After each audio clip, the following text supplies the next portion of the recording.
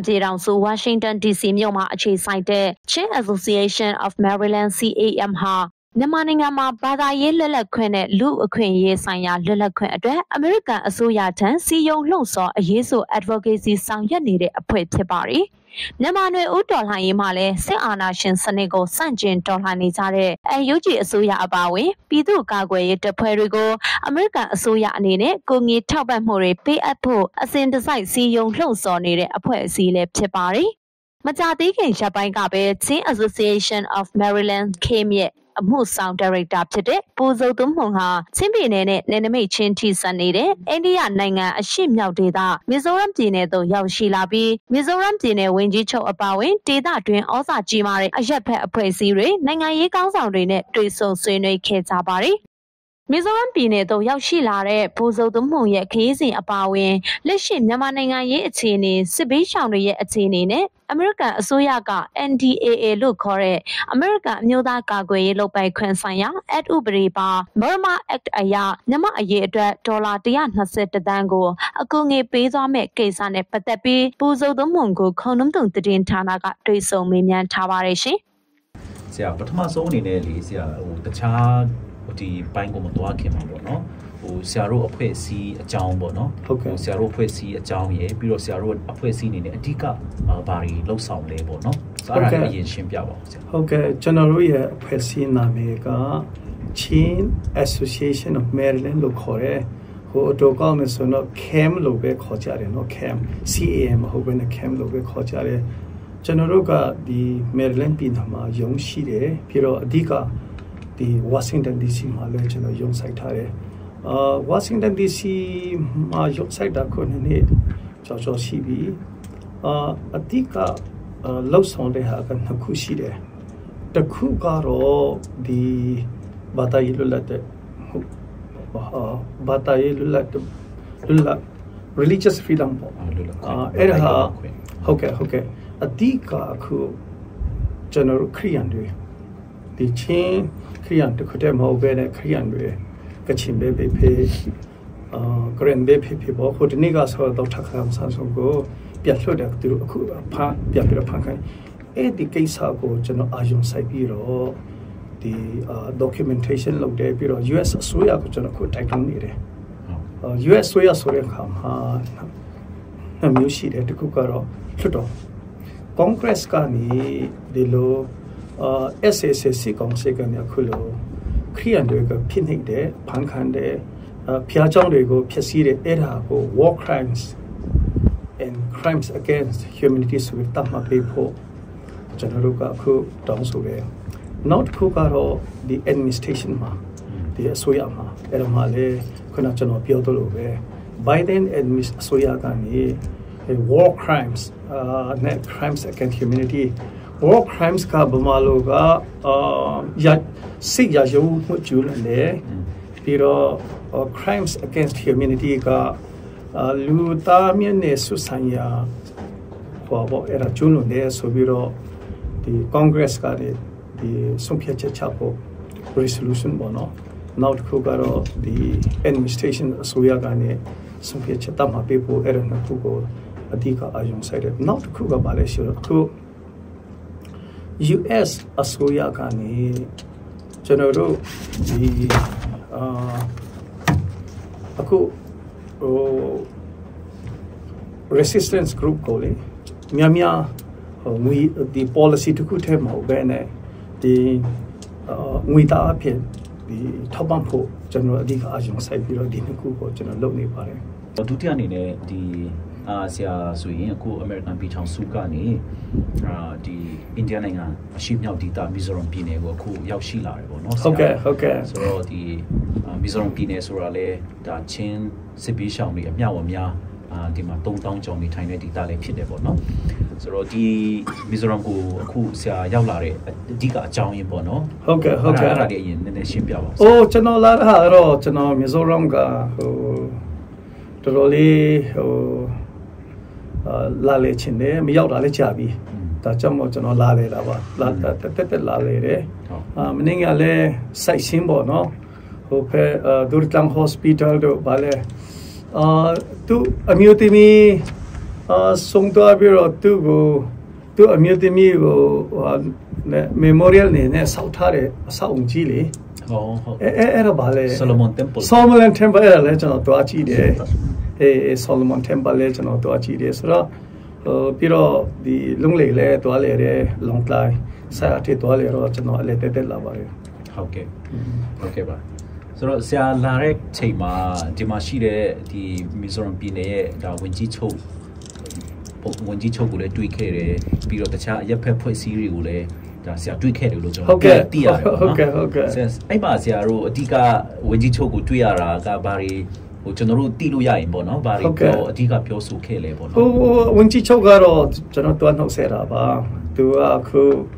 အာသူရွေးကောက်ခံပြီးတော့ပြီးမှကျွန်တော်တခါမှမတွေ့ရသေးဘူးဒါကြောင့်မို့သူ့ကိုကျွန်တော်တွန်းနှုတ်ဆက်တယ်အာပြီးတော့သူ့ကိုလည်းကျွန်တော်ဂျေယူတင်စကားတော့ပြောတယ်ဘာပြောလဲဆိုတော့သူရွေးကောက်ခံပြီးတော့ New Delhi သွားတယ်သွားပြီးတော့ဟိုမှာအာ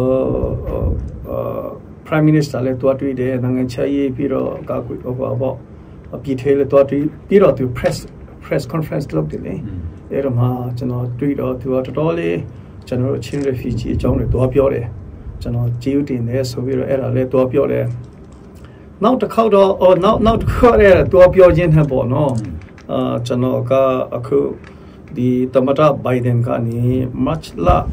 23မှာဟိုလက်မှတ်ထိုးပြီးတော့ဥပဒေဖြစ်သွားတယ်ဒီ appropriations act လို့ခေါ်တယ်2024ဒီအနည်းဆုံးဒီဒေါ်လာတရားနဲ့20တန်းကူမိမယ်ဆိုတာအကြောင်းလည်းနည်းနည်းတော့ကျွန်တော်ဝေမျှပါတယ်ဟုတ်ကဲ့ information အကြောင်းအဲအကျိုးအကြောင်းလေးကျွန်တော်ဝေမျှပါတယ်ဟုတ်ကဲ့ဟုတ်ကဲ့ပါဟိုသူတို့ဒီပြီးတော့အရက်ဖက်ဖွဲ့စည်းလူမျိုးဘာသာရေးကောင်းဆောင်လူမျိုးလဲဆရာတို့တွေ့ခဲ့ကြတယ်နော်ဟုတ်ကဲ့ဟုတ်ကဲ့ဟုတ်ကဲ့ဆိုတော့ အဲ့အခြေအနေလေးကိုဆရာရှင်းပြလို့ရအေးအဲ့အဲ့ဒီအဖွဲ့ကတော့အဓိက central way မေပေါ့နော်ဒီ central way မေကျွန်တော်တွားတွေ့တယ်သူတို့ကလည်းကျေဥတစကားတွားပြောတယ်ပထမချက်ကတော့အာနောက်တစ်ခုကတော့ဒီအခု US အစိုးရကနေဆုံးဖြတ်ချက်ချတဲ့ဒီ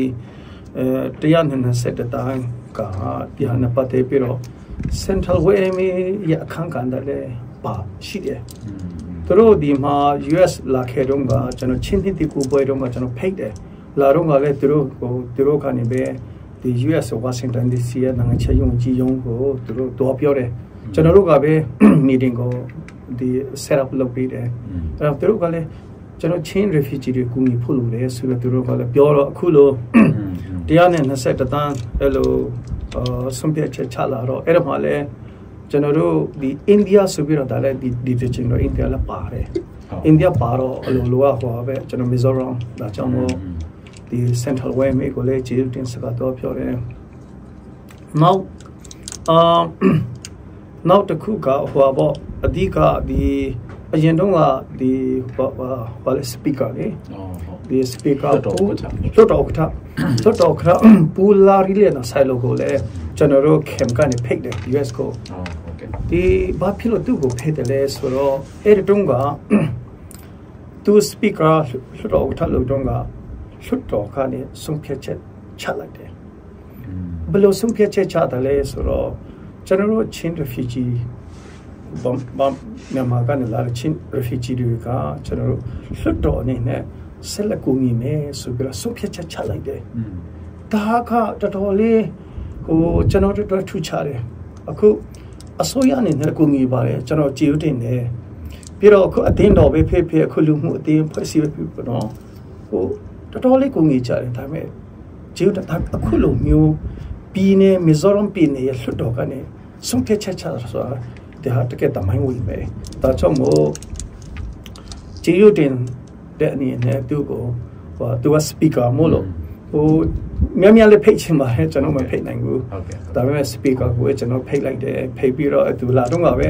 ကျွန်တော်နိုင်ငံခြားရေးဝန်ကြီးဌာန Washington DC State Department meeting arrangement လုပ်လိုက်တယ် VOA ကလည်းသူ့ကို interview လုပ်တယ်သူကလည်းပြောတယ်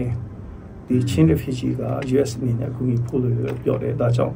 ဒီဒီဒီဟာကိုကျွန်တော်သူ့ကိုတော့ဝေညှက်လိုက်ပါတယ်ဟုတ်ကဲ့နောက်နောက်နောက်တူရှိသေးတယ်ဟုတ်အာအဲ့ဒီတုန်းကဒီဒီပညာကြီးရဲ့ဟဝန်ကြီးပြည်ရေး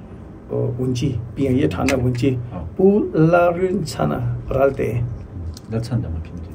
ဟုတ်တယ်ပူလာချန်တမရလ်တေမနဲ့ပူရလာချန်တမရလ်တေက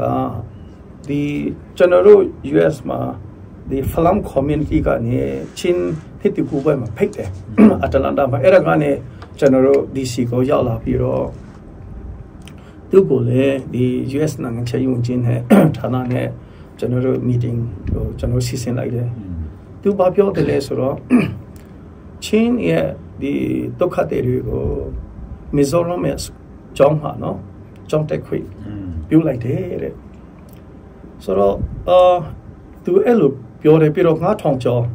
အာသူတို့ကိုကျောင်းထိုင်ခိုင်းတယ်တဲ့ဆိုတော့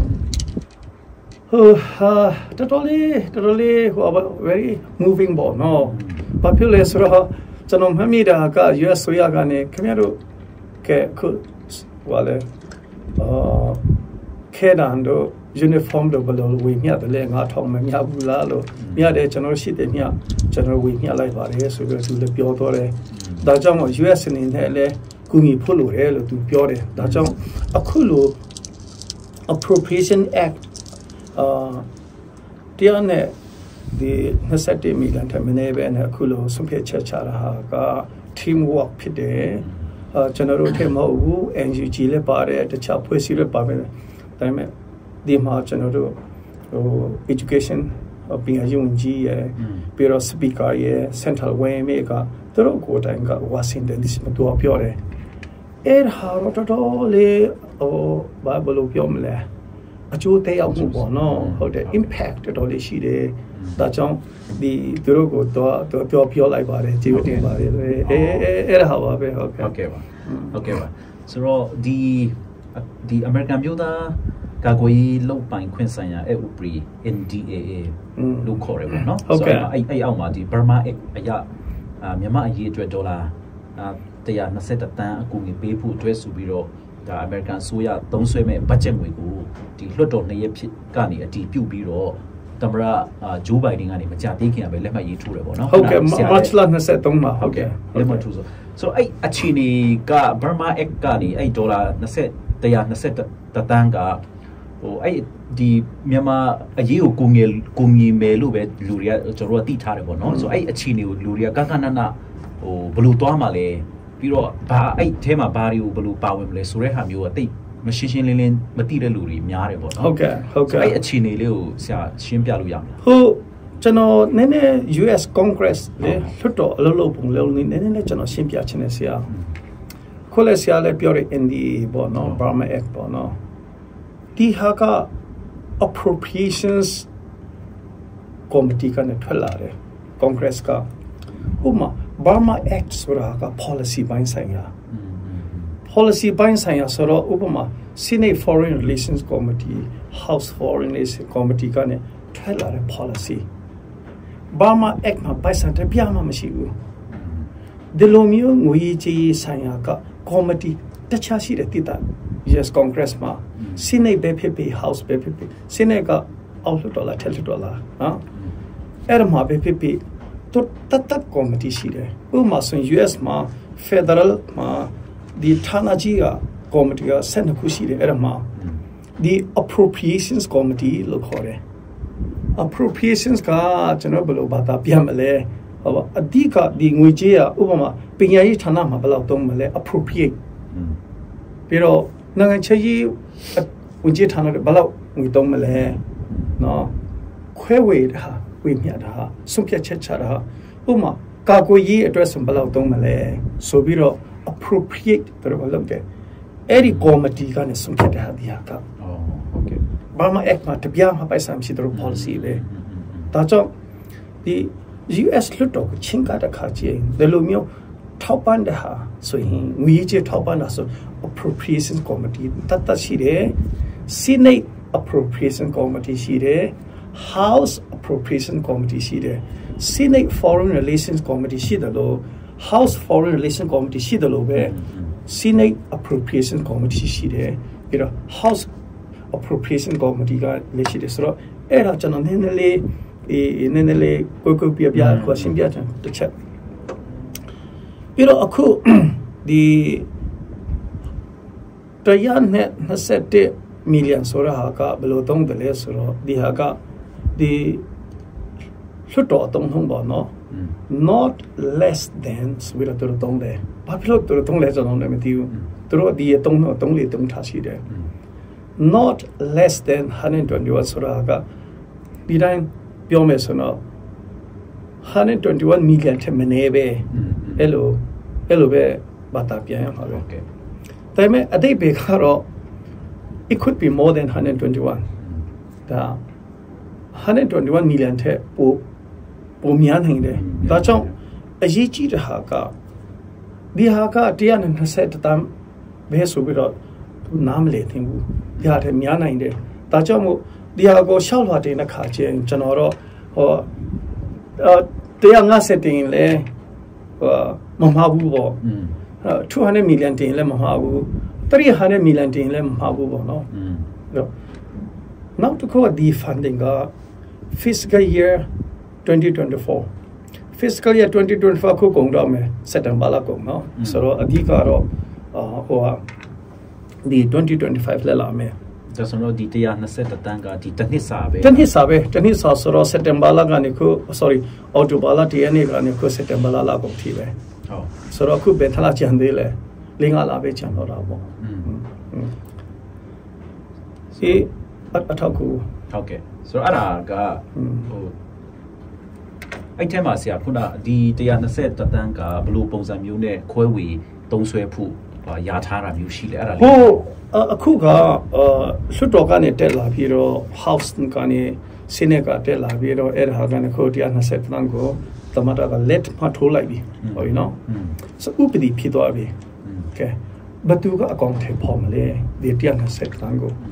ဆိုတော့ဒီ120တန်းကဘသူလက်ထဲမှာရှိတယ်လဲဆိုနိုင်ငံခြားရေးဝန်ကြီးဌာနနဲ့ USAID USAID လက်ထဲမှာရှိတယ်ဆိုတော့သူတို့သူတို့ကပဲချင်းကရမယ်ဟုတ်ကဲ့ဟုတ်ကဲ့ဟုတ်ကဲ့ဆိုတော့အဲ့မှာလေ120တန်းကိုဟိုဒီသူတို့မှာဘယ်ကဏ္ဍမှာဘလို့ဘလို့သုံးဆွဲရမယ်ဆိုတော့ခွဲဝေသူတို့တတ်မှတ်ထားတာမျိုးရှိတယ်လို့သိရတယ်ပေါ့ဟုတ်ကဲ့ဆိုအဲ့ဒါလေးဆရာအဲ့ဒါနည်းနည်းရှင်းပြလို့ရမလားဟိုဒီတိုင်းပဲဟိုပါပေါ့ သူတို့တတ်မှတ်တာကတော့အခုဒီခုနှစ်ခုလောက်ပေါ့နော်ဟိုဥပမာဟို humanitarian assistance ဆိုရင်တော့75 million ပေါ့နော်အဲ့လိုတတ်မှတ်ထားတယ်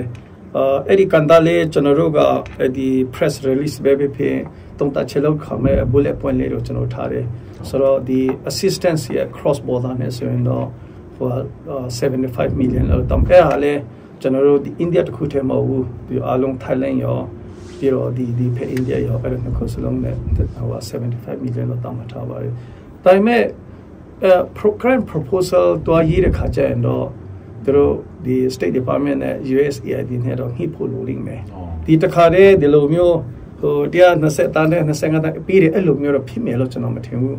ဒါပေမဲ့အဲ့ဒီပိုင်းကျတော့ကျွန်တော်တို့ရဲ့ expertise မဟုတ်ဘူးကျွန်တော်တို့ကတော့နားမလည်ဘူးပေါ့နော်ဟုတ်ကဲ့ဆိုတော့နောက်ထပ်သိချင်တာကဒီ အမေရိကန်ဆိုရနေတာမြန်မာအရေးအတွက်ဆိုပြီးတော့သူကအဲ့လို budget ချပေးတာပေါ့လေနော်ဟုတ်တယ်ဆိုတော့မြန်မာအရေးကိုကူညီမယ်ဆိုအကူညီပေးမယ်ဆိုတာသူကဘယ်လိုပုံစံမျိုးနဲ့ကူညီမှာလဲပေါ့နော်ပြီးတော့ဘယ်သူတွေကိုသူကကူညီမှာလဲပေါ့နော်ဘယ်သူတွေကရမှာလဲပေါ့နော်အဲ့အဲ့ဒါလေးနည်းနည်းဒီအဲအဲ့အဲ့ပိုင်းကဆရာတော်တော်လေးရည်ကြီးတယ်ကျွန်တော်တို့ကတော့အဲ့ဒီ implementation ပိုင်းပေါ့နော်အဲ့အဲ့ပိုင်းကတော့ကျွန်တော်တို့ရဲ့ကျွမ်းကျင်မှုမရှိဘူးကျွန်တော်တို့ကတော့ ဒီ Washington DC မှာပဲ advocacy လုပ်တဲ့ US ဆိုရကိုတိုက်တွန်းနေဒါပေမဲ့အားပေးတဲ့ဟာကတော့ဒီအဓိကဒီနိုင်ငံခြားရေးဝန်ကြီးဌာနနဲ့ USAID ကိုပြောဖို့ဒါပေမဲ့အာကျွန်တော်အာဒီခုနပြည်နယ်ဝန်ကြီးချုပ်ပူလက်တော်မနဲ့တွေ့တော့ကတခုလေးတော့သူကကျွန်တော်အမ်တခုလေးဘာလို့ပြောမလဲတိုက်တွန်းတာတခုတည်းရှိတယ်အခုက US ဆွေးရကနေ ဒီ120တန်တယ်မနေပဲကူငင်မယ်လို့ဆုံးဖြတ်ချက်ချလိုက်ပြီအဲ့ဒါမှအိန္ဒိယပါတယ်ဒါကြောင့်မို့ဟို New Delhi ကြီးကြည့်မယ်နော် New Delhi ဆိုရင်ဒီက external affairs ပေါ့နော်နိုင်ငံခြားရေးဝန်ကြီးဌာနရဲ့ပြီးတော့ဒီ home home ministry ပြီးသေးဒီ New Delhi ကြီးကြည့်မယ်ဒါကြောင့်မို့ဒီ New Delhi နဲ့အာဒီပြီးသေးနဲ့ နိုင်ငံခြားရေးဝန်ကြီးကိုနတွေကိုဒီပြည်နယ်ဝန်ကြီးချုပ်ပူတော်မနေနဲ့တွားပြီးတော့တွားချင်းကန်ကောင်းမလားဆိုပြီးတော့နည်းနည်းတော့အကြံပြုတော့ဟာတော့မဟုတ်ပါဘူးဟိုကျွန်တော်ဟိုသူ့ကိုအဲ့လိုပဲတင်ပြတယ်ဆိုတော့အဲ့ဒီကနေပဲဒီဝါရှင်တန် DC ကနေနေတယ်လှလာမယ်ဆိုတော့နေတယ်လှကနေမီဇိုရမ်ကကိုလာဖို့တော့လုံးမယ်ဆိုတော့ဟိုဘယ်လိုဘယ်လိုတွားချမလဲအဲ့တော့ကျွန်တော်ကျွန်တော်အသေးစိတ်ပြောလို့မရဘူးဆိုတော့ ဒီအခုဆိုရင်ဆရာခုနပြောတဲ့ဒီ120တန်းထက်မနည်းအကူကြီးကဒါတစ်နှစ်တစ်နှစ်အတွက်ပဲဆရာပြောတယ်ပြီးတော့ဒါလည်း2024ဟုတ်တယ် physical ရအတွက်ပဲလို့ပြောတယ်ပေါ့နော်ဆိုတော့အခုလည်းကုံတော့မှာပေါ့နော်ဒီနေ့ဆိုရင်ဆိုတော့အကူကြီးတွေကဆရာဘယ်တော့လောက်သူဆောင်ရွက်မှာလဲဘယ်တော့လောက်စတင်နိုင်မှာလဲအဲ့ဒါကြီးအဲ့ဒါကလက်တွေ့ဖြစ်လာဖို့ကအခုအခုကအခုကလက်မထိုးပြီးပြီလေဆိုတော့တမတာတမတာကလက်မထိုးပြီးပြီဆိုတော့ ဒီဒီဟာနဲ့ပတ်သက်ပြီးတော့ဟိုရှောက်လွှတ်တင်ချင်တဲ့လူရှိရင်ကျွန်တော်တော့ဟိုနိုင်ငံခြားရေးဝန်ကြီးဌာနရဲ့ USA တွေကိုချင်းကပ်ဖို့ပါပဲအာဒါမှမဟုတ်ရင်လည်းဟိုတခြားအဖွဲ့အစည်းဥပမာ NDI လိုမျိုး IRI လိုမျိုးပေါ့နော်သူတို့ကလည်းမြင်းမြမြင်းမြဖို့လိုလိမ့်မယ်ထင်တယ်ဘာဖြစ်လို့ဒီတိုင်းသူတို့ပေးမှာမဟုတ်ဘူးသူတို့က grant proposal တို့ပါတော့လာလိမ့်မယ်ထင်တယ် ဘာဖြစ်ဖြစ်ဖြစ်အဲ့ဒီပိုင်းကတော့ကျွန်တော်တို့ကလည်းရှောက်လာလက်တီမှာမို့ကျွန်တော်တို့ကျွမ်းကျင်မှုကအဲ့ဒီပိုင်းမဟုတ်မဟုတ်တော့ကျွန်တော်လည်းအသေးစိတ်ပြောလို့မရဘူးဘယ်လိုပုံကိုဘယ်လိုဖွဲ့စည်းမျိုးတွေကသွားပြီးတော့အဲ့မှာတင်လို့ရမလဲတောင်းလို့ရမလဲကျွန်တော်ကျွန်တော်မသိဘူးအမသိဘူးနော်ကျွန်တော်မသိဘူးဟုတ်ကဲ့ဟုတ်ကဲ့ဆရာဆိုတော့ဟိုဒီအမေရိကန်အမေရိကန်ဆိုရကနေဘာကြောင့်အခုလိုမျိုးဒါမြန်မာအရေးအတွက်ဒီဆရာပြောတဲ့ခုနလိုမျိုးဒီ ခုလိုမျိုး budget အများဖြစ်ကူနေတာဒါပထမဆုံးအချိန်ကိုလည်းဆရာပြောရဲပေါ့နော်ဆိုတော့ American ဆိုရဘာကြောင့်အဲ့လိုမျိုးလှုပ်ဆောင်ရတာလဲပေါ့နော်ဘာကြောင့်ကူညီရတယ်လို့ဆရာမြင်လဲပြီးတော့ဒီအကူအညီဟာဒီမြန်မာအခုလက်ရှိဆင်နွှဲနေတဲ့မြန်မာအမျိုးတော်နိုင်အတွက်ပေါ့နော်ဘယ်လောက်ထိအထောက်အကူပြုပြုနိုင်မယ်လို့ဆရာထင်လဲဟိုတကယ်တကယ်တော့ဆရာဒီလိုမျိုး US အစိုးရကနေ ဒီ appropriations committee ကနေအဲ့လိုမျိုးလှုပ်လာပြီးတော့တမတာကနေလက်မှတ်ထိုးရဲစာနိုင်ငံရေးရတော်လေးရေးကြည့်တယ်။ဒါငွေကြီးကတော့တကန်တာပဲတော်တော်လေးနိုင်ငံရေးရကရေးကြည့်တယ်။ဝါရှင်တန် DC နေနဲ့ကျွန်တော်တို့ရဲ့နယူးဒေါ်လာကြီးကို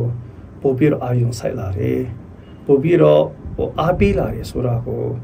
ဟိုကောင်းကောင်းလေးမြင်ရတယ်တွေ့ရတယ်။ပြီးတော့ အခုလိုမျိုးဆုံးဖြတ်ချက်က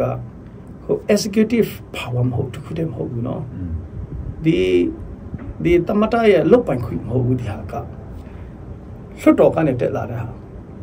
လွှတ်တော်မှာတော့ဘာဥပမာဆိုရင် Senate မှာဆို Democrat ကသူတို့က majority နော် House မှာက Republican က majority ဆိုတော့ဒီ House နဲ့ Senate တခုတည်းမကြည့်တင်ဘူးပါတီလေးကြည့်တင်တယ် ဘာဖြစ်လဲဆိုတော့ House မှာက Republican ကမကြိုက်ဘူးဆိုရင်ဒီဒီဟာကလုံးဝမဖြစ်နိုင်တဲ့ဟာအဲ့ဒီတိုင်းပဲ Republican ဘလောက်ပဲကူညီချေ Senate မှာက Democrat ကသူတို့ majority ဆိုတော့သူတို့ကမကြိုက်ဘူးဒီဟာလည်းမဖြစ်နိုင်ဘူးဒီကြောင့်ဒီဟာကလွှတ်တော်ကနေလေဒီအားပေးတယ်အဲ့ဒီပြင်ပါတီနှစ်ခုစလုံး Democrat နဲ့ Republican ပါတီတစ်ခုစလုံးကသူတို့ကအားပေးတယ်ဒါကြောင့်ဒီဟာကနိုင်ငံရေးရကတော်တော်လေးထူးခြားထူးခြားမှုတွေရှိတယ် အများကြီးထောက်ကိုအထောက်ကိုပြောနိုင်မယ်ဘာဖြစ်လဲဆိုတော့ခုအတုံးလုံးကလည်းဘာဘော120တန်းတဲ့မနေပဲဆိုပြီးတော့တုံးလိုက်တော့ပြီးတော့ခုအခုကျွန်တော်ဥပမာနေနဲ့ပြောပြရတာပါလူသားချင်း assistant ဆိုတာတခြားဟိုဥပမာဆိုရင်ဒီနီးပြန်ပိုင်းဆိုင်ရာ technical support non lethal assistance ဆိုတာလည်းဒါလက်နဲ့ကင်တဲ့ CDF တို့ PDF တို့လက်နဲ့ကင်တဲ့အဖွဲ့နဲ့ပဲဟိုပတ်သက်တာဆိုတော့ ဒီလက်နဲ့အဆင့်တော့မရောက်သေးဘူးပေါ့နော်ဒီ US foreign policy ရဆိုရင်ဒီလက်နဲ့ကိုင်းတွေလက်နဲ့ပေးတယ်ဆိုတော့တော်တော်လေး policy ခက်တယ်ဒါပေမဲ့အခုလက်နဲ့ကိုင်းတဲ့အဖွဲ့ကိုဒီဒီ technical assistant နေပြီးအပိုင်းဆိုင်ထောက်ကူပြုမယ် non lethal assistant ပေးမယ်ဆိုတော့ဟာ policy ရတော်တော်လေးတော်တော်လေးဟိုအမြင်မှာပါတယ်အဲ့လိုပဲကျွန်တော်တို့တော့သုံးသပ်တယ်ဟုတ်ကဲ့ ဆိုတော့ဒီသူ့ရဲ့ဒီထဲမှာကြည့်မယ်ဆိုတော့ခုန Thai နဲ့ India ဘက်မှာရှိတဲ့ဒီစစ်ပေးဒုက္ခတွေဖြစ်ဖြစ်အဲ့လိုမျိုးတွေလူသားချင်းစာနာထောက်ထားမှုတွေဒီနေဆက်ဖြတ်ကျော်ပြီးတော့ပေးမယ်ဆိုတဲ့ဟာမျိုးလဲဒါအများကြီးချထားတယ်ဟုတ်တယ်ဟုတ်တယ်ဆိုတော့ဒါလဲဒါကတော်တော်လေးအကျိုးဒီဒီကယ်စစ်ဘေးရှောင်တွေစစ်ဘေးတန်ခံနေတွေ့တော့အများကြီးကျူးရှိမယ်လို့ထင်ဟုတ်တယ်ဟုတ်တယ်ဒီကိစ္စတွေလည်း ဆိုတော့အဲ့ကိစ္စနဲ့ပတ်သက်ပြီးတော့နောက်ထပ်ဒီတခြားမေးခွန်းမသွားခင်ပါပေါ့နော်ခုနဒီဒီအကြောင်းအရာနဲ့ပတ်သက်ပြီးတော့ဆရာထပ်ဟိုတည်တည်တဲ့အကြောင်းအရာရှိရင်ဆရာထပ်ပြောလို့ပြောဆရာရှိရင်ပြောလို့ရကျွန်တော်ဒီအာပြည်နယ်ဝန်ကြီးချုပ်ဦးလတ်တော်မန်တဲ့တွေ့တုန်းကနောက်တစ်ခုကျွန်တော်သူ့ကို နည်းဝေမျှတာဟာတခုရှိတယ်အဲ့ဒါကျွန်တော်ပေးပါနဲ့ပဲသူ့ကိုလည်းပေးတယ်အာဘာဖြစ်လို့လဲဆိုတော့သူ့ကိုကျွန်တော်တွေ့တဲ့ဟာကဂျာတဲ့ပလေးနဲ့ညနေပိုင်းမှာဒီမှာရွေးကောက်ပွဲကတောက်ကြနေဆိုတော့ကျွန်တော်လည်းသူ့အချိန်ကိုများများမယူချင်ဘူးပေါ့နော်အဲအဲ့ဒါမှာအာသူလည်းနည်းနည်းပြောသွားတာရှိတယ်ဒီ UNHCR ရဲ့အခမ်းကဏ္ဍအဲတခုသူပြောတယ်ဒီအိန္ဒိယက UNH UN Refugee Convention 1951လက်မှတ်မထိုးလို့တဲ့ဆိုတော့အိန္ဒိယနေနဲ့ဒီမကူငင်နိုင်ဘူးဆိုတာဟာမျိုးပေါ့နော်အဲအဲ့လိုသူသူပြောသလိုလိုပဲဒါပေမဲ့ကျွန်တော် paper မှာတော့အဲအကောင်းကောင်းရေးထားတယ်အာအိန္ဒိယကဒီ1951 UN Convention ကိုလက်မှတ်မထိုးရင်လည်းကျွန်တော်တို့ကိုကူညီလို့ရတယ်ဆိုတော့ဟာပေါ့နော်အဲ့ဒါမှဆရာကျွန်တော်ရှင်းရှင်းလင်းလင်းတခုပြောချင်တာရှိတယ် UNHCR ရဲ့ဟိုပေါ့သူတို့လုပ်ငန်းပေါ့နော်အဲ့ဒါမှနှစ်ပိုင်းရှိတယ်ဟိုကျွန်တော်လည်း UNHCR ရုံးမလေးရှားမှာ2004 and 2005ထိကျွန်တော်တတိခွဲလုပ်ခဲ့ဘူးတဲ့ရုံးမှာပေါ့နော် UNV အနေနဲ့ဆိုတော့ UNHCR အနေနဲ့တပိုင်းရှိတယ်လို့လုပ်တာတပိုင်းကတော့ဒါ that country resettlement ပေါ့ဟိုတတိယနိုင်ငံကိုဟိုသူတို့ဟိုဗာလဲတွားခိုင်းတယ်ပေါ့နော် နောက်တစ်ခုပို့ပြီးတော့ရေးကြည့်တာပါလဲဆိုတော့အခုအခုလိုမျိုးဒီအာမီဇိုရမ်လိုမျိုးပြီးတော့ IDP တွေကို protection နဲ့ assistance လို့ခေါ်တယ်အကာအကွယ်ပေးတယ်ပြီးတော့ assistance ဆိုတာခုနဒီ refugee IDP ဆိုတော့ကျွန်တော်တို့အခု camp နေနဲ့ US ဆိုရပဲဖြစ်ဖြစ် UNHCR ပဲဖြစ်ခုမီဇိုရမ်ရဲ့ပြည်နယ်ဝန်ကြီးချုပ်ရဲ့ကိုကျွန်တော်တောင်းဆိုနေတာကဘာလဲဆိုတော့ that country resettlement မဟုတ်ဘူးဒီအတိကတော့အဲ့ဒီဒီမှာရောက်နေတဲ့ပုဂ္ဂိုလ်တွေဒါ protection UNHCR အနေနဲ့ registration လုပ်လိုက်ပြီဆိုတော့ဒီ cut လေးပေးလိုက်တယ်လေဟုတ်အဲ့ဒီအဲ့ဒီ UNHCR ရဲ့ cut ကဟို100%အကာအကွယ်ပဲပေးပြီးမြဲဒါ international protection ဖြစ်သွားပြီတခုပြီးတော့ US အစိုးရပဲဖြစ်ဖြစ်ကနေဒါပဲဖြစ်ဖြစ် Australia ပဲဖြစ်ဖြစ်ပေါ့နော် UNHCR ဆီမှာသူတို့ပိုက်ဆံပေးတယ်အဲ့ဒါ UNHCR ကအမြဲတဆင့်ကျွန်တော်တို့ refugee တွေကိုစီကိုကျွန်တော်အထောက်ပံ့ကိုရောက်လာတယ်ဒါကြောင့်မို့ဒီကျွန်တော်ရှင်းရှင်းလင်းလင်းဟေကျွန်တော်ကျွန်တော်အလုပ်ပေါ့နော်ကျွန်တော်တို့က that country resettlement ကိုကျွန်တော်တို့က advocate မလုပ်ဘူးဒါ protection ရှိဖို့အကာအကွယ်ပေးဖို့ပြီးတော့ assistant ထောက်ထောက်ပံ့ပေးဖို့ပါပဲ ဆိုတော့အဲ့အဲ့ဒါမှာကျွန်တော်သူ့ကိုကျွန်တော်တင်ပြတဲ့ဟာကအဲ့ဒီ UN agencies တွေနော်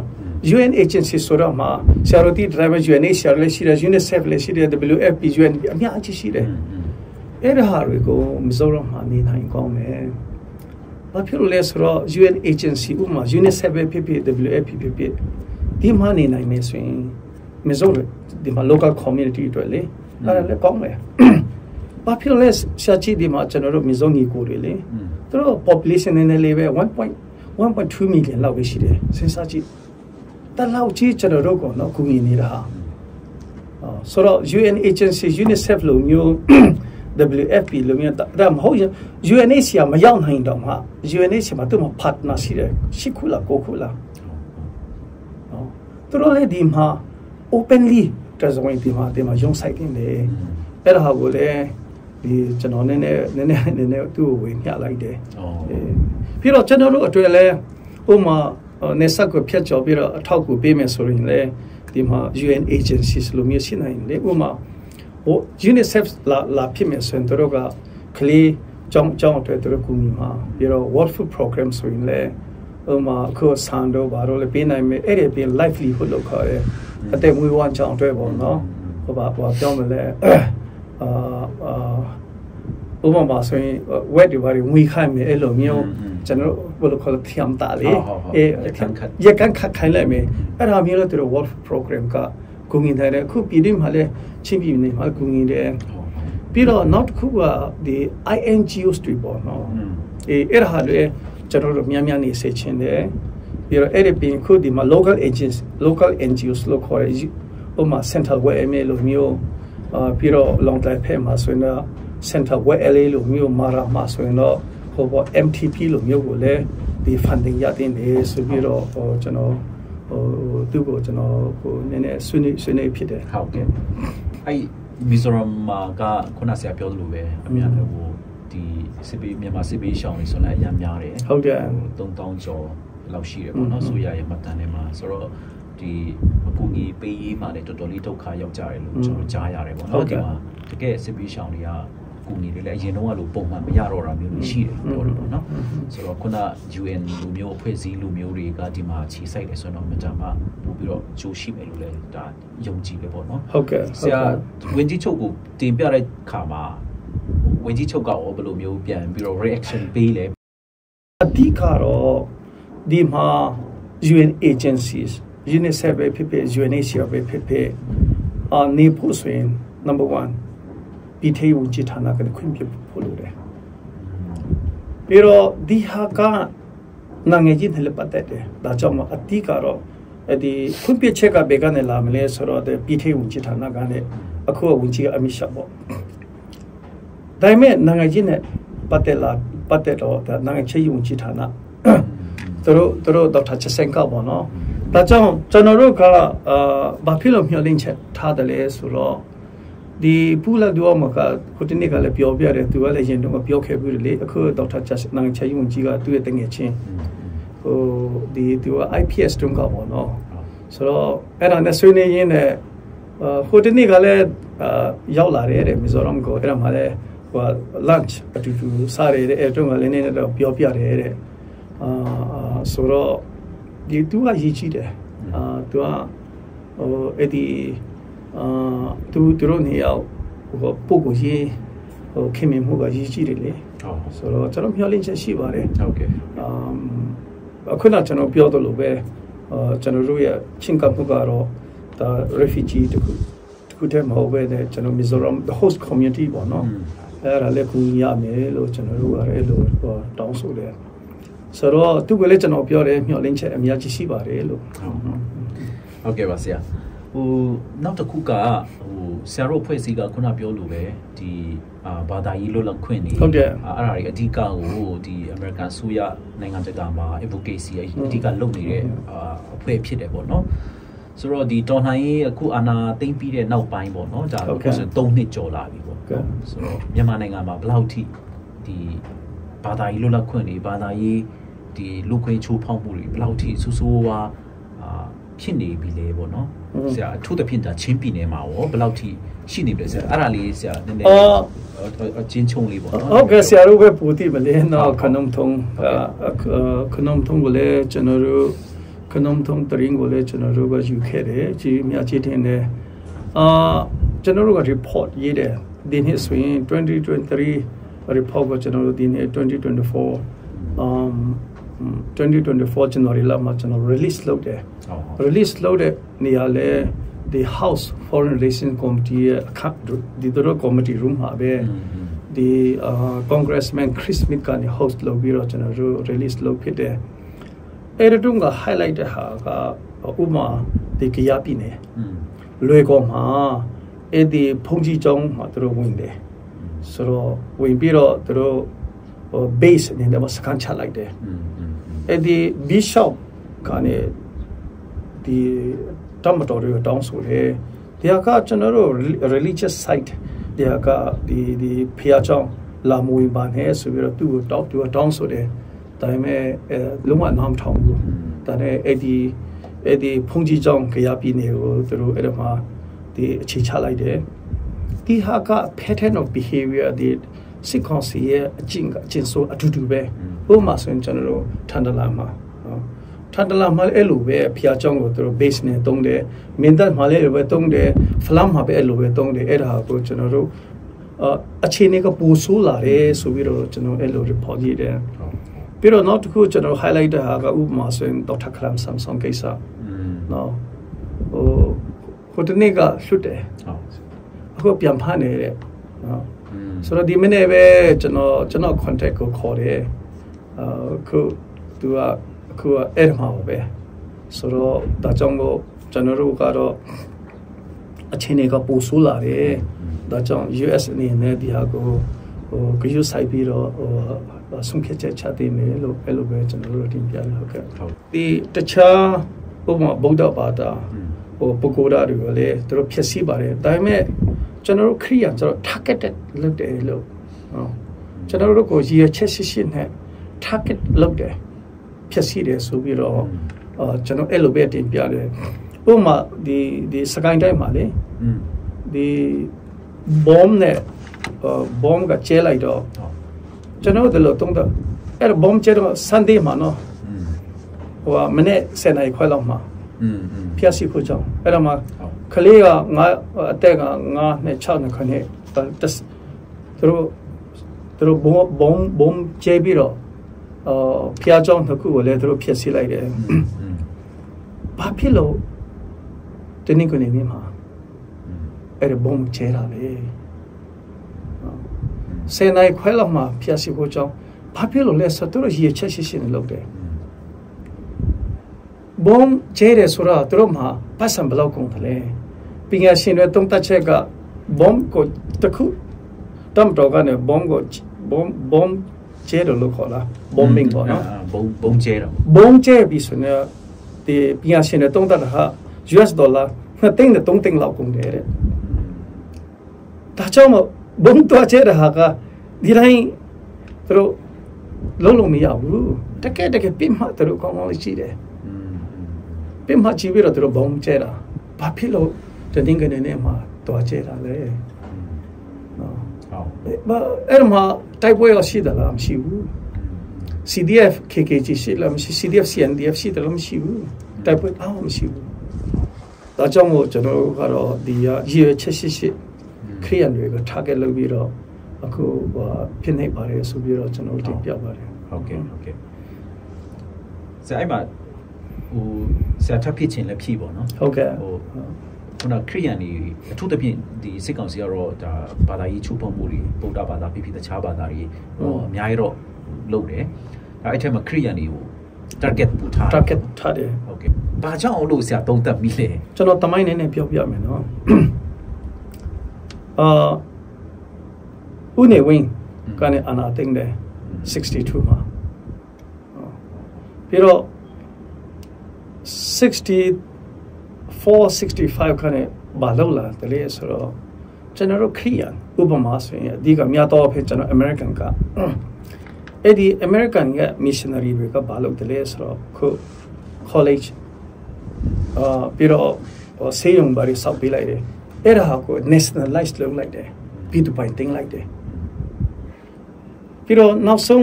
1965 66မှာ American Baptist Mission နောက်ဆုံး mission Reverend Dr. Robert Johnson ကိုသူတို့အာ deportation လုပ်လိုက်တယ် deportation ကပြန်ခန်းလိုက်တယ်နော်အဲ့ဒီတော့ကတချို့စာရေးဆရာတွေရေးတာဟာသူပြန်နေလို့ US ပြန်သွားတယ်လို့ဒါပေမဲ့ကျွန်တော် Reverend Dr. Stephen Fege ကိုကျွန်တော်မေးတယ်မဟုတ်ဘူးအဲ့တော့ဖလန်ဖလန်မှာရှိတဲ့အဲ့ဒီတမတော်တွေသူ့ကိုခေါ်တယ်သူကိုယ်တိုင်လိုက်တယ်တဲ့ သူ့ကိုတကယ်ပဲ deport လုပ်တယ်ပြန်ခိုင်းလိုက်တယ်ဆိုတော့အဲ့ဒါဘယ်လိုဖြစ်သွားတယ်လဲဆိုတော့ American နဲ့တိုးတက်တဲ့ American နဲ့ကျွန်တော်တို့ချင်းတွေကိုခရီးရန်တွေကိုသူတို့ကဖျက်လိုက်တယ်ဖျက်လိုက်တယ်ဆိုတော့ဒီစစ်အစိုးရနေနဲ့ဒီ Christianity ဆိုတာက Western religion ပေါ့နော် American religion အဲ့လိုပဲသတ်မှတ်တယ် ပြီးတော့သူတို့ကလည်းဒီ missionary လာတဲ့ခါကျရင်အခုနကျွန်တော် Bible ကျမ်းစာတစ်ခုတည်းယူမလာဘူးသူကဖွံ့ဖြိုးဖွံ့ဖြိုးရေးပေါ့နော်အခုအကျန်ကျန်ပညာရေးတော့ပြန်ချမ်းမာရေးသူတို့ယူလာတယ်ကျွန်တော်တိုးတက်ရမှာသူတို့မလုပ်ချင်ဘူးတိုးတက်ပြီးသားနိုင်ငံတွေလည်းကျွန်တော်တို့ကအဆက်အမလုပ်ချင်ဘူးပြီးတော့တစ်ဆက်ထဲမှာပဲသူတို့ကဘုဒ္ဓဇင်ကိုလေဗုဒ္ဓဘာသာကိုသူတို့ကတကယ်ပဲဟို ဘဘလို့ပြောအကာအကွယ်ပေးပဲသူတို့က promote လုပ်ချင်တယ်အဲ့ဒါလည်းပါတယ်ပြီးတော့နောက်တစ်ခုအခုကြည့်ကျွန်တော်တို့အခုနေဦးတော်ထိုင်ပြီးတဲ့ခါကျရင်ဒီအခု IDP တော့ဘယ်သူကထောက်ထောက်ထောက်ပံ့ပေးတယ်လေနော်ကျွန်တော်ခရီးရနေပဲသူတို့တည်တယ်ပြီးတော့ကျွန်တော်တို့ကိုယ်တိုင်နဲ့ကြည့်ဆရာကျွန်တော်ကျန်းစာကြောင်းတဲ့လူတွေနော်ဘာဖြစ်လို့ပါဝင်နေတယ်လဲခေါကြည့်ကျွန်တော်ချင်းထဲမှာလေ ကချင်လည်းအဲ့လိုပဲဆိုတော့ဘာဖြစ်လဲဆိုတော့ကျွန်တော်တို့ကဒီဒီအခွင့်အရေးဒီ right ကအခုတို့အချို့ပေါက်နေတယ်ဒါကြောင့်မဒီဟာကဒီဟာ justice မရှိဘူးပေါ့နော် the injustice ကျွန်တော်တိုက်ဖို့လိုတယ်ကျွန်တော်တို့က federalism လိုတယ် democracy လိုတယ်ဒါကြောင့်မို့အဲ့ဒီပိုင်းမှာလည်းတို့ကဟိုမချိုက်ဘူးပေါ့နော်ဒါကြောင့်တို့ကဒီဒီသူတို့ယန်တူကိုတိုက်တိုက်ပါတယ်ယန်တူလို့တတ်မှတ်တဲ့ဟာခုမွတ်စလင်ပဲဖြစ်ဖြစ်အာ ဟိန္ဒူပဲဒီကပုဂ္ဂိုလ်သားပဲဖြစ်ဒါပေမဲ့အဓိကတော့ပြမှတ်ထားပြီးတော့ကျွန်တော်ခရိယန်ကအစကတည်းကပဲသူတို့မုန်းတယ် so အခုဆိုရင်ပို့ပြီးတော့ဆိုးတာပေါ့အချမ်းကြီးနဲ့ကျွန်တော်တို့ကိုဟိုဟိုအချမ်းကြီးနဲ့ကျွန်တော်တို့ကိုတိုက်ခိုက်နေတယ်ဒါတော့ဒါဒါသူတို့အမှားပဲလေဟုတ်ကဲ့ဟုတ်ကဲ့ပါဆက်အာအခုဆိုရင်လက်ရှိဒါဒီမအပါဝင်ဒါတိုင်းသားဒေတာမှာအခုဆိုရင်တွေဦးတော်နိုင်ရင်ကျွန်တော်ဆင်နွှဲလာတာ3နှစ်လောက်ရှိသွားပြီပေါ့နော်3နှစ်ပြီးသွားပြီအခုထိ စစ်ကောင်စီကိုတိုက်ခိုက်နေတော့ပွဲပေါ့နော်ဆိုတော့အထူးသဖြင့်ကျွန်တော်တို့ဒီချင်းကိုကြည့်မယ်ဆိုရင်ပေါ့နော်ချင်းပြည်နယ်ချင်းတော်ချင်းတော်နိုင်ရေး3နှစ်ကျော်လာပြီဆိုတော့ဆရာဘယ်လောက်ထိချင်းတော်နိုင်ရေးရဲ့ခရီးဟာဘယ်လောက်ထိခရီးပေါက်ပြီလဲဆရာအဲ့ပေါ်မှာဘယ်လိုမြင်လဲပေါ့နော်ဟုတ်ကဲ့ဟိုကဒီအားရကျဉ်းမှုရှိလားကျွန်တော်ကျွန်တော်တော်တော်လေးအားရတယ်အာကျဉ်းလက်ကျဉ်းမှုရှိတယ်အဓိကကတော့ ဒီလူငယ်တွေပေါ့နော်ဟိုကျွန်တော်မှလည်းကျွန်တော်ဒူရီလည်းပါတယ်ခုအာဒါ CNF ကတော့ဟိုရင်ကတဲ့ကနေတိုက်တိုက်ဒီမှာပါ veteran ဟိုပေါ့နော်ဟိုဖွဲ့စီအာဒါပေမဲ့အခု CDF တွေပေါ့နော်ဟိုမှာ CDF တွေကတကယ်ပဲအနာသိမ့်ပြီးတော့သူတို့မြို့မှာစန္ဒပြတယ်စန္ဒပြလာတဲ့ခုကတော်ထဲအာ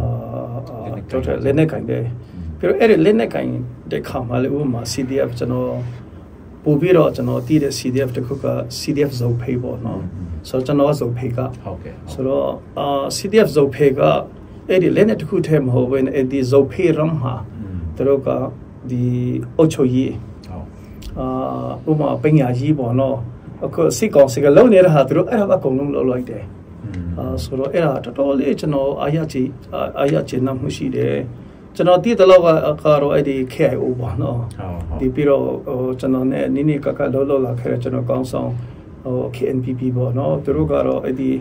ဆရာတော်တီတိုင်းမဲ့ KIO ကတော့ဒီသူတို့ရဲ့ပိုင်တဲ့နေမြေမှာအုတ်ချုပ်ကြီးကောင်းကောင်းလေးလုံထိုင်တယ်အဲ့ဒါဟာမျိုးကိုကျွန်တော်ဖြစ်စေချင်တာအခုတော့ကျွန်တော်တွားတွေ့တဲ့ဟာကတော့အခုဟိုမှာ CDF ဇိုဖေ area ဆိုရင်သူတို့ကပဲအော်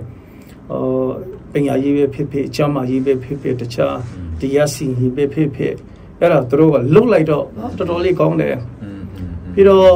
လက်နဲ့အင်အားကကြီးကြီးတာပေါ့နော်ဆရာအခုကအခုကတိုက်မချင်းဟုတ်ဆိုတော့လက်နဲ့အင်အားကလည်းဟိုတော်တော်လေးကြီးကြီးတယ်အာဒီဖက်ကျတော့ကျွန်တော်တိတ်ပြီးတော့ဟိုမတည်ဘူးပေါ့ဒါပေမဲ့ကျွန်တော် US မှာဆိုရင်ဟိုမှာ ဒီ Zope ရဲ့ supporting group တွေရှိတယ်အဲ့ဒီတိုင်းပဲ Thantlang supporting group တို့ပြီးတော့ Falam supporting group တို့ဆိုတော့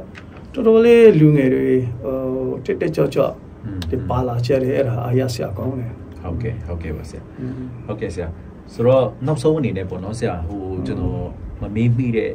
မေးခွန်းတွေလည်းရှင်းရှိမယ်ပေါ့နော်ဟုတ်ကဲ့ဟုတ်ကဲ့ဆရာနောက်ဆုံးဗာများဖြည့်စွက်ပြောချင်လဲပေါ့နော်နောက်ဆရာဒီအခု US Appropriation Act ကတော့ဒီ2024ဒါကြောင့်ကျွန်တော်တို့အနေနဲ့အခု2025အတွက်ဆက်လက်ပြီးတော့ကျွန်တော်တို့ဟိုမှာ US အစိုးရကိုတိုက်တွန်းဖို့ကျွန်တော်ပြင်ဆင်ထားတယ်အာဘလောက်တောင်းဆိုမလဲဆိုတာဟာကတော့ကျွန်တော်တို့တခြားဖွဲ့စည်းတွေနဲ့ညှိချင်တယ်ဟိုဥပမာဆိုရင်ဟို5 million တောင်းမလား1 billion တောင်းမလားပေါ့နော်အဲ့ဒါတတန်ထက်ထွက်ချင်တယ်ဟိုမှာ NGG ကဘလောက်တောင်းချင်တယ်လဲတခြား Burma Advocacy Group ကဘလောက်တောင်းချင်ကျွန်တော်တို့တတန်ထဲပေါ့နော်အဲ့အဲ့ဒါတခု ဒီအာပြီးတော့နောက်တစ်ခုကတော့အခုအာမြောက်လိုင်းအာ2021ကနေအာနာတင်ပြီးတဲ့နောက်ပိုင်းမှာတော့ဟိုကျွန်တော်တို့ကဒီ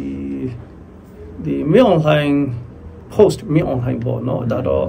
ဒါနိုင်ငံရေးတမားတွေကတော့စဉ်းစားတင်တယ်လေဒါပေမဲ့အခုချိန်တော့ကျွန်တော်တော့မြောက်လိုက်ဖြုတ်ချဖို့ရည်ကြီးတယ် ဒီအဲ့ဒီမြောက်လိုက်ဖြုတ်ချရမှာဆိုရင်ကျွန်တော်ချင်းထဲနဲ့မရဘူးဆရာဟာဒီကျွန်တော်တို့တခြားတိုင်းသားအဖွဲ့တွေနဲ့မလုံလောက်တော့ဘူးခုတကယ်တကယ်သူတို့ဗမာတွေနဲ့လဲကျွန်တော် cooperation အရေးကြီးတယ်ပြီးတော့အာအခုတော့မင်းကလည်းကျွန်တော် news ဖတ်တော့တော်လေးအားရတယ်အခုဟိုဟိုဖက်မှာဒီဒီဒီတောင်ပိုင်းဖက်မှာပေါ့နော်ဆိုကရင် တော်တော်လေးတက်ကြွလာတယ်ပြီးတော့ကြရကလည်းနေပြီးတော့နေဆက်တော်တော်လေးတက်ကြွတယ်ပြီးတော့နောက်ပိုင်းသုံးဖွဲ့ပေါ့အခု KIO ဆိုတော့ဒီဖက်ကလည်းရခိုင်ဒီကလည်းတော်တော်လေးတက်ကြွလာတော့အခုကျွန်တော်တို့ကတော့ဟိုပြီးတော့ဒီဟိုပြီးတော့လှုပ်ရှားဖို့လုံလာပေါ့အဲ့ဒီလှုပ်ရှားဖို့လုံမဲ့ဆိုတဲ့နေရာမှာ